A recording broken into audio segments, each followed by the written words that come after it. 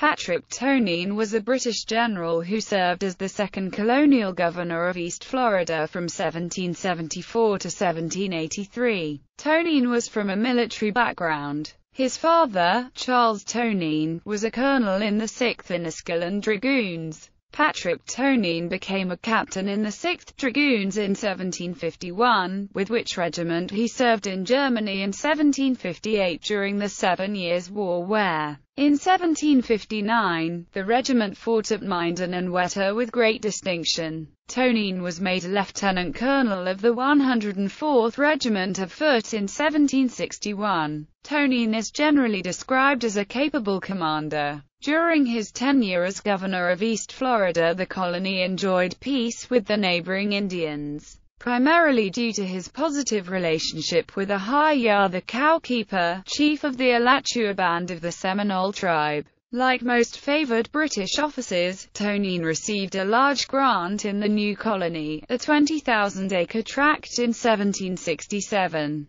Fort Tonyn, which was located in present-day Nassau County, Florida, near the hamlet of Mills's Ferry was named after Tonyn, who served as East Florida's royal governor at the time of the American Revolution. Tonyn was instrumental in bringing his brother-in-law planter Francis Levett, an Englishman, to East Florida, and having Levett given a seat on the Royal Council. Formerly a merchant in Leghorn, Italy, working for the Levant Company in Constantinople, and scion of a well-connected English merchant family, Levett took up a large grant in Florida, which he later abandoned in favor of Georgia, where he was one of the first growers of Sea Island cotton. Levett's son-in-law Drive, David Yates served as Secretary of the Province of Florida under Governor Tonyn. Tonyn was involved in a fraud and deception trial at the Old Bailey in May 1796. Henry Weston was indicted for forging his signature to transfer £5,000.